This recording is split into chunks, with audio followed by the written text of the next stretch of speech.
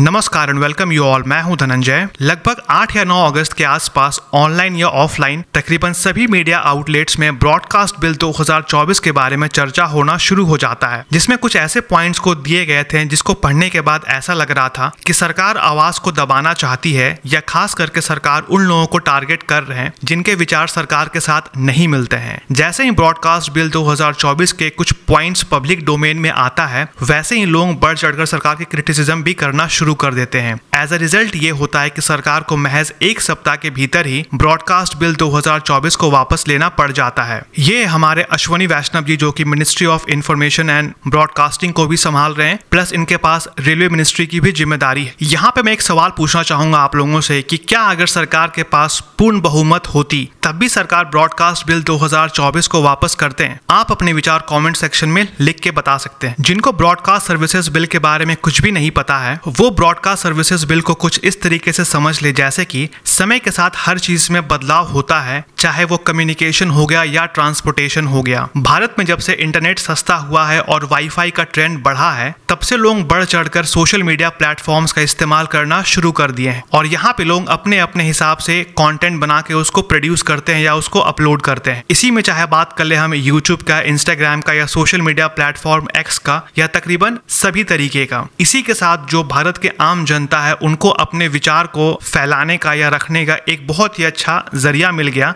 जहाँ पे कोई भी लोग दिल्ली में बैठे बैठे अपनी आवाज़ को या अपने विचार को यूएसए यूएई या तकरीबन दुनिया के सभी हिस्सों तक वो पहुँचा सकते हैं। इसी बीच क्योंकि भारत एक डेमोक्रेटिक स्ट्रक्चर को फॉलो करता है तो चांसेस यहाँ पे काफ़ी हाई है कि कुछ ऐसे भी लोग रहेंगे जिनके विचार सरकार के साथ नहीं मिलते होंगे और ये भी हो सकता है कि वो बहुत ही सिस्टमैटिक तरीके से सरकार के जो पॉलिसीज़ है, उसको वो क्रिटिसाइज करें। तो इसी में क्या है कि सरकार चाहे भारत के हो या दुनिया के किसी भी देश के, वो कभी भी क्रिटिसिज्म को एक्सेप्ट नहीं करना चाहते हैं। तो इसी बीच जो मार्केट एक्सपर्ट्स है उनका ये मानना था कि ब्रॉडकास्ट सर्विसेज़ बिल 2024 खास करके उन लोगों को टारगेट करने का एक अटेम्प्ट था, जिनके विचार सरकार से नहीं मिलते थे या नहीं मिलते हैं। ब्रॉडकास्ट सर्विसेज़ बिल को कुछ लिमिटेड लोगों के साथ या इंडस्ट्री के जो स्टेक होल्डर्स हैं, उनके साथ शेयर किया जाता है और बहुत ही कॉन्फिडेंशियल तरीके से शेयर किया जाता है और साथ में उनको ये भी कहा जाता है कि इस बिल के कॉपी को आप किसी और के साथ शेयर नहीं करेंगे। और इस बिल को शेयर करने के बाद उनसे उनके विचार या उनसे उनके फीडबैक लिए जाते हैं। अब जो सबसे इसमें डिस्टर्बिंग एलिमेंट था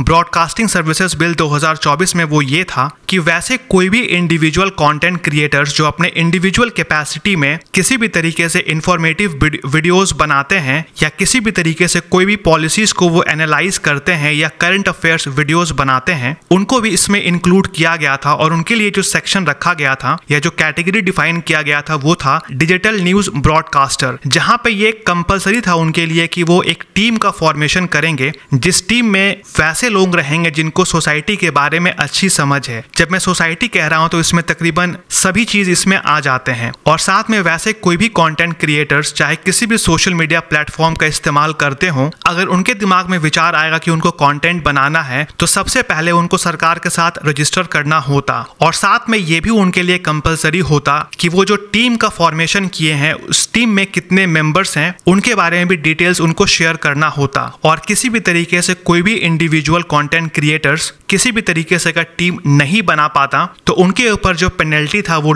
वो 50 लाख से लेके ढाई करोड़ रुपए तक का पेनल्टी था। तो ये पेनल्टी आप सुन के ही आपको समझ में आएगा कि किस तरीके से सरकार आपको बुलडोज करने का कोशिश कर रहे थे। अब कोई भी अगर ऐसा कंटेंट क्रिएटर है जो अपने इंडिविजुअल कैपेसिटी में वीडियोस बनाता है फॉर एग्ज़ाम्पल जिसमें मैं खुद आता हूँ तो मैं एक टीम को फॉर्म कैसे कर पाऊँगा? यानी कि मेरे पास इतने पैसे कहाँ से आएँगे? और जहाँ तक बात किया जाए सोशल मीडिया प्लेटफॉर्म का तो बीते कुछ सालों में ये भी लोगों का एक सोर्स ऑफ़ इनकम बना है। और जहाँ तक बात किया जाए गवर्नमेंट सर्विसेज़ या किसी भी तरीके से रोज़गार का तो ये आपको और मुझे हर किसी को पता है कि गवर्नमेंट कितना सीरियस है आपके हमारे रोज़गार को लेके। So ministry of information and broadcasting 2023 में भी ब्रॉडकास्ट बिल को लेके आते हैं, लेकिन जो 2024 का बिल था, उसमें और 2023 का जो बिल था, उसमें काफ़ी डिफरेंस रहता है। अब दिमाग में सवाल ये आ सकता है कि जब 2023 में बिल लाया गया था तो 2024 में क्यों लाया गया? तो एक बात बता दूँ कि 2024 में चुनाव हुआ था, और हमारे बीच जो भी पॉलिटी पढ़ते हैं, उनको पता है कि अगर किसी भी तरीके से बिल पार्लियामेंट में पेंडिंग होता है, और उसके बाद अगर चुनाव हो जाता है तो दोबारा से उस बिल को प्रेजेंट करना पड़ेगा। लेकिन इसी बीच क्या होता है कि 2024 के लोकसभा लोकसभा चुनाव के पहले कुछ ऐसे इंडिविजुअल कंटेंट क्रिएटर्स थे जिन्होंने कुछ वीडियोस बनाए थे। जो वीडियोस खास करके जो रूलिंग गवर्नमेंट है, उनको टारगेट किया गया था। अब यहाँ पे मेरा कहने का ये मतलब नहीं है कि वो वीडियो का नेचर अच्छा था या खराब था या वो पॉलिटिकली मोटिवेटेड था। नॉर्मली जब भी हम सोसाइटी की बातें करते हैं तो यहाँ पे जितने लोग होते हैं, उनके अपने अलग अलग विचार होते हैं। और सभी लोग सरकार के विचार से सहमत रहे, ऐसा भी नहीं होता है। तो जो मार्केट एक्सपर्ट्स है, उनका ये मानना था कि 2024 के जो बिल है, उसमें डिजिटल न्यूज़ ब्रॉडकास्टर इसीलिए ये कैटेगरी को ऐड किया गया ताकि जो इंडिविजुअल कंटेंट क्रिएटर्स रहे, उनको इस दायरे में लाया जाए और वो किसी भी तरीके से ऑनलाइन प्लेटफॉर्म का इस्तेमाल करते हैं अपने विचारों को रखने के लिए, उनको भी सरकार के साथ अपने आप को रजिस्टर करना पड़ेगा। तो कहने का मतलब है कि अगर सरकार के साथ आप रजिस्टर अपने आप को करते हैं तो कहीं ना कहीं आप सरकार की गिरफ्त में आ जाते हैं। लेकिन अगर वहीं पे साल 2023 का जो